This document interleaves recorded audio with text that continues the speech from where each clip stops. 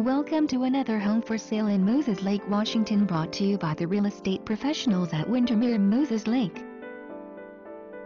This 4-bedroom and 2-bath home was built in 2012. This home is situated on a 7280 square foot lot. For more information on this and other real estate, homes, and properties for sale in Moses Lake, Washington contact the listing agent whose phone number is on the right. Thank you for viewing our real estate video and we hope you enjoy the remainder of this property tour.